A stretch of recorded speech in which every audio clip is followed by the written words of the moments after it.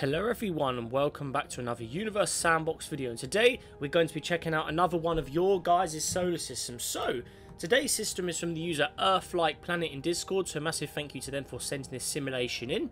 So they've put uh, one of my most complete simulations of all time other than minor objects and it's called the ON80-2 system. So let's go ahead and uh, see what he's prepared for us here. Excuse me. Yeah, apologies guys, I've got a bit of a cold at the moment so my voice is a little funny. Um, but yeah, here it is. So let's go ahead and see what we've got. Right, whoa, we got a lot of reading. Oh, my poor voice is going to love this.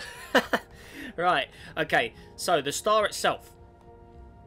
ON80-2. Okay, so um, the second installment of the ON80 series. I welcome you to this very laggy system bearing one or 12,506 objects. Good thing I got a new PC then. Yeah, guys, this is uh, the second video I'm making on a new PC I've got where...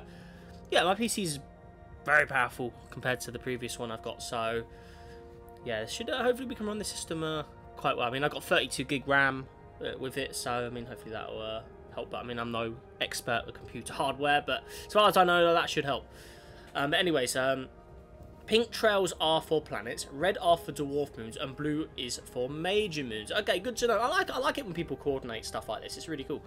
Um, I wish I wish people did more often. Actually, it's a really really nice, cool little thing. Right, system description.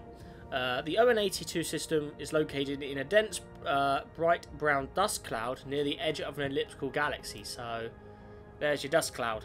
Very bright in here. The star is a K-type orange dwarf star holding 11 planets in its grasp, uh, planets A to K. 10 of the 11 planets bear moons. Let's check them out. P.S. If you see any objects that are covered in snow and ice, they are not meant to be a bug. Okay, so disable the snow and the ice. Okay, cool. Right, so the star itself, obviously said it was a K-type star, so there's your stats.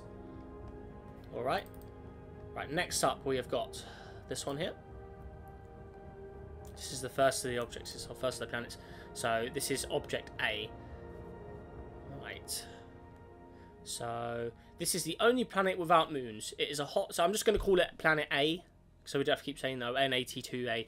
Um, so planet A is the only planet without moons. It is a hot, barren desert planet for green atmosphere. One of the most basic objects in the system, but is still very nice. Its green atmosphere is very toxic and not cannot be breathed by most creatures. Ooh.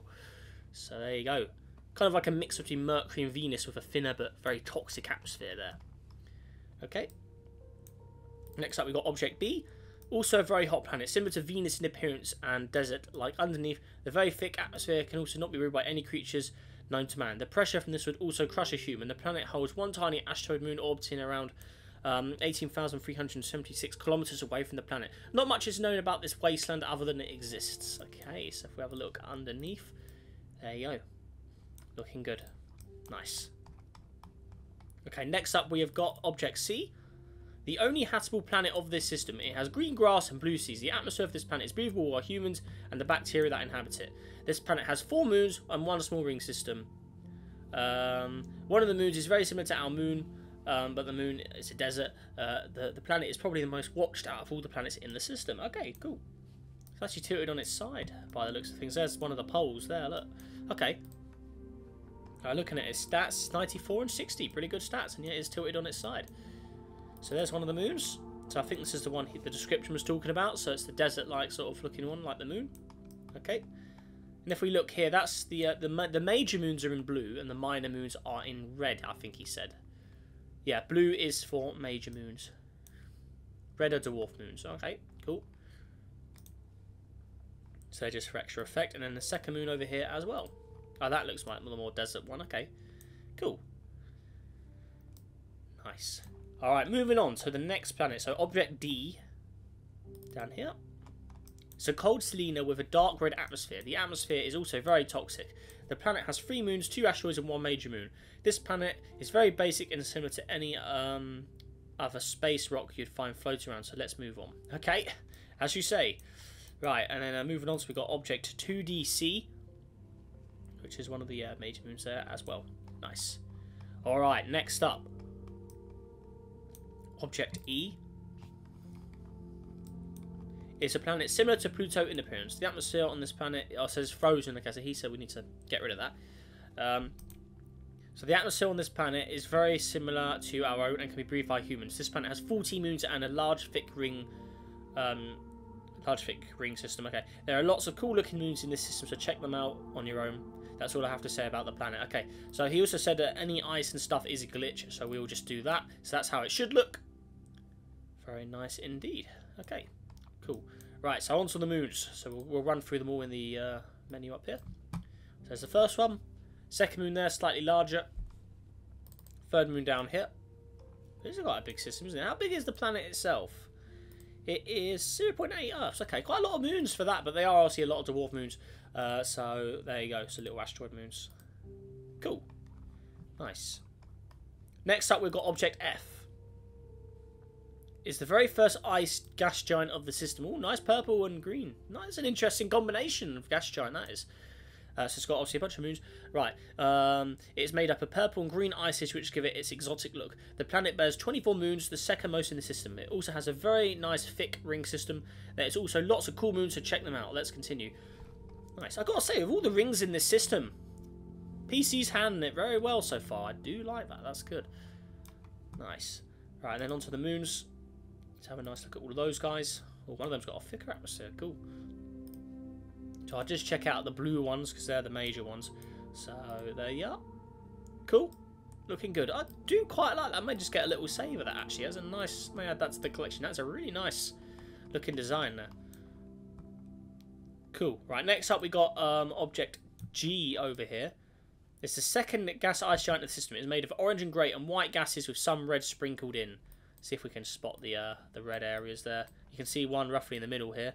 I don't know if you can see my mouse, but this middle band, you can see there's a slight pinky red shade there. Looking good. Okay. Uh, this is my favourite planet in the system. It has 27 moons, the most in the system, and a very nice ring system. Like with the previous planet, there's not a lot going on with the moons, but that is a Titan-like moon you can still check out if you wish. Yeah, we do like that. So that is GE. So that's this one here. So there it is, Titan-like moon. That's a big gas giant, isn't it? How, how, big is it? It looks bigger than Jupiter from this distance. 7.885 Earths. Hang on, let's have a look. Oh, okay. So it's not as big as Jupiter, Just quite close to it then. Right. And then uh, some of the other major moons. So there's only two major moons and a lot of dwarf moons. Okay. Cool. So you can see, look at all the time he's put into this. He's customized all of them with the same shade of red, and he's named every single one. Props to him, because that is a lot of uh, a lot of copying and pasting of the colours and stuff. So very nice, nice work.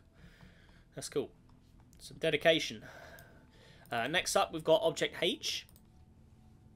It's the first planet outside the first asteroid belt. Okay. Oh, you can see there is two, actually. Cool. So, this planet is similar to Pluto, but has a green toxic atmosphere. What a surprise. There's a lot of toxic atmospheres in here. Um, it has 11 moons. Check them out if you wish. The planet was originally thought to be a gas dwarf, but further studies um, show it is a rocky planet. Nice. So there it is here. So when he means similar to Pluto, I think he means the colour-wise. He's got the uh, paler, brownish and white, and then he's got the darker, deep brown, which is the tholins that Pluto has, that brownish area. So they're the tholins that do that. Cool.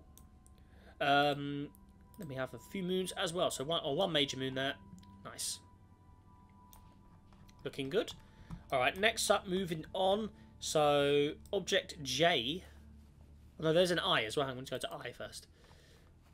Um, there is another desert planet which you guess has a toxic atmosphere with clouds that rain acid rain. I recommend you turn on studio mode at this point. Uh, okay, so getting quite far from the star then, because you can see in the picture at the top right how much dimmer it is. So we'll go to, um, oh, hang on.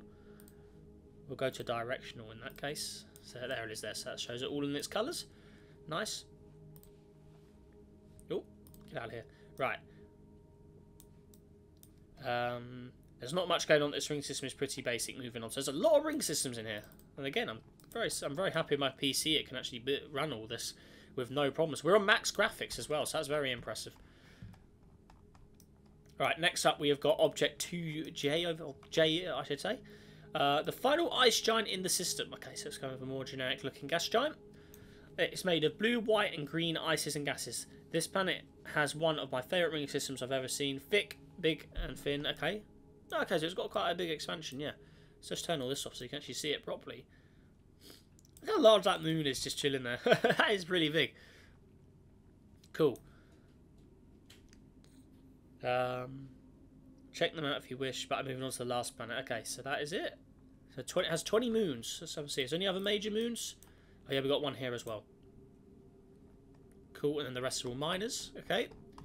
Right, and then lastly, object K. Oh, excuse me. oh, that cold's annoying. Right, um, object K.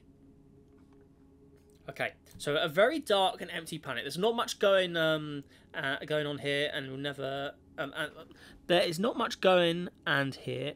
That doesn't really make sense. Uh, and there will never be one change in this planet's orbit. Could send it flying into interstellar space.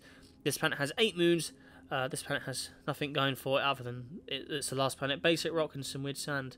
Uh, that's a wrap on the planet and system. Okay, hope you enjoyed this system and thank you for checking it out. Peace. So Builder SCP-0835 or is Discord name as Earth-like Planet. So massive thank you to them for sending this system in. Gotta say, very nice. I really like the description. I like how he's categorized every single moon. With with I like how he's he's taken the time to name them all, designate the colors for them. It does it, it does add to the effects, although it's just a little minor thing of just naming and, and adding the uh, trail colors. I think it is a very very nice addition. And yeah, I gotta say, I definitely would like to see more people do this sort of stuff because it is. It looks look how organised it looks. I do like it being organised, and yeah, I think it looks. I think it looks great with the darker reds, the blues, and it helps me go through the system so I know which objects to check and which ones not to check so much. Obviously, with the minor moons compared to the major moons. I mean, that's a very useful thing to have. So yeah, I appreciate that, and that is a very nice way of doing things. And yeah, people have done them before, but not often. But yeah, if anyone's looking for a cool little thing to do in their systems that they send in, try something like this. It is cool. I really like it. Thumbs up. No, it's a thumbs up from me.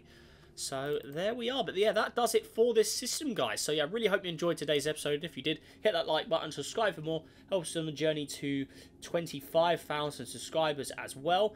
And yeah, with that all said and done, make sure you guys all have a great day. Stay safe out there. And I'll see you in the next video. Goodbye.